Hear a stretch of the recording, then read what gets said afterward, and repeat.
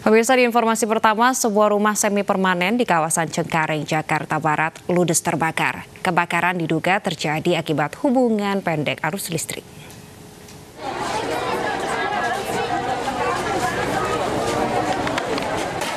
Kebakaran melanda permukiman warga di Jalan Swadaya, Pesing, Cekareng, Jakarta Barat, Jumat siang.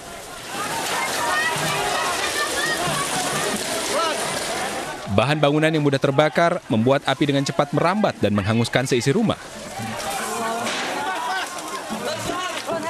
Sebanyak 17 unit mobil pemadam kebakaran Jakarta Barat diterjunkan ke lokasi untuk membantu memadamkan api.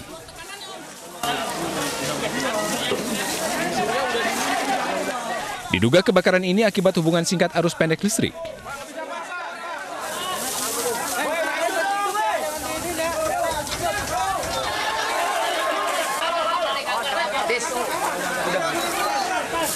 Itu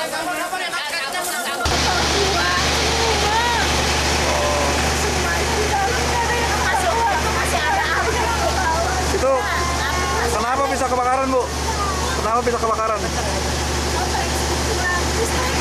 Terus ya.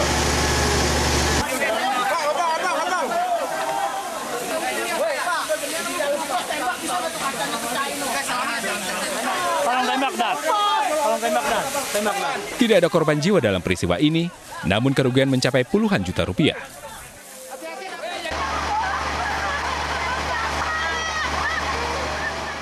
Dari Jakarta, Miftahul Gani, Anyus melaporkan.